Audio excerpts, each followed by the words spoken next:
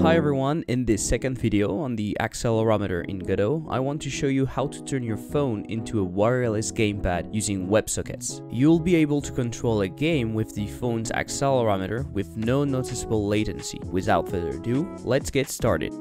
Before diving into the code, I want to explain why I chose WebSockets for that. Obviously, there are lots of ways to make a phone communicate with a desktop computer. You could think of Bluetooth, for example, which seems a better choice when it comes to sending a low amount of data without consuming too much energy. I'm not entirely sure how easy it would be to do in Godot, but I believe it could be done. I wanted to try WebSockets as they seem very easy to use and quite good with performance. Also, WebSockets are very standard now and you could talk to a number of different languages or devices that support them. For example, you could totally imagine creating a custom controller and talking to Godot with WebSockets using a microcontroller like an ESP8266 or the more powerful ESP32 version. I might actually do that in the future, so if you want to see it, let me know in the comments below. Now let's move on to the implementation. To test the gamepad, we'll need a simple game, so I've already set up something. I won't go over all the details, I've just set up enemies spawning randomly and going towards the bottom of the screen. The player is a kinematic body 2D and has two functions, move and fire, to control his position and his weapon. We'll use these functions later when receiving data from the phone. I created a node called WebSocket Server to which I attached a script to run the server. It's mostly the same code as the example from the Godot docs. In the ready function, we connect the various signals that the WebSocket server will emit. At the end, we start the server by listening to port 9080. In the process function, we call server.poll. This is to make the data transfer and signals update. I've created three custom signals that I will emit when needed. That way, the WebSocket server node is doing its thing on its own, and we can connect these three signals to get updates. The signal connected is fired when the WebSocket connection connection is made, disconnected when the connection is stopped, and new Accel data when there's data available. In the onData function, we get the packet from the peer and send it through the new Accel data method. Note that we are calling getString from UTF-8 because we are sending the data as string encoded in UTF-8. We'll see that in the client code. In the game script, in the on WebSocket server new Accel data, we parse the data as JSON and get both the Accel accelerometer values and the fire button state. Depending on their values, we can call player move or player fire. Now that we've seen how to get the data and use it, we can go to the other project, the accelerometer gamepad. The nodes in this project are basically grouped in two. When we first launch the app, we see this connection screen. There's a text edit where you can input the server's IP address. In the background, the port used will always be the same we defined for the server, so 9080. Once the connection is made, we can hide the screen and we'll see the gamepad scene. We'll see the server's IP in the top left with the connection status in the top right. In the center, the bubble will show the accelerometer inclination in the x-axis. And finally, the fire button. Just like for the server, I've created a node for the WebSocket. And again, the code is mostly the same as the one found in the docs. Same as before, in the ready function, we connect the various signals. Closed and connected functions are pretty much the same as with the server. And just like before, we call client.poll in the process function to update the WebSocket. I made a function called connectWS, which will simply call client.connect to URL with the URL entered in the text edit. I've kept on data as it was in the example, but I'm not using it because the server is not sending anything to the client. The most interesting function is send data, which takes data and send it to the server using client.connect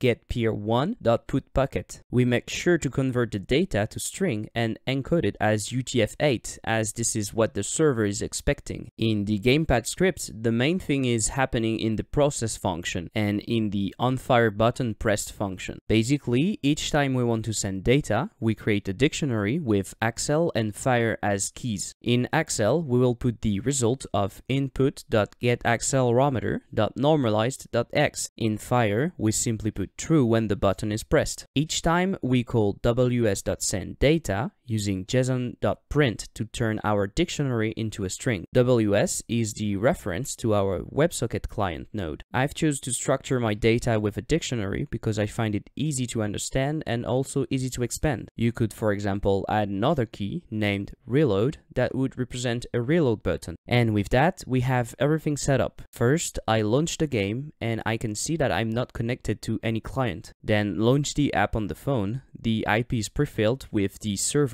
so I just click connect and I can see I'm connected to the server. On the game, we can see the phone's IP and that we're connected. If I move my phone from left to right, we can see our player move left and right. And if I press the fire button, the game starts and my player starts shooting. As you can see, it's pretty responsive and I can tell you I don't feel any noticeable lag. You could test it with more demanding game, but the latency induced by the WebSockets should be totally acceptable. I hope you liked this video. As always, you can find all the sources on my GitHub, link in the description. If you just want to try the game and the wireless gamepad, I've released both the desktop and mobile version to my GitHub. If you want to discuss more about this video, see what I'm working on, or talk about game dev or just hang out, join us on my Discord server. Just scan this QR code or use the link in the description. I'll see you on the next video. Thanks for watching. Bye!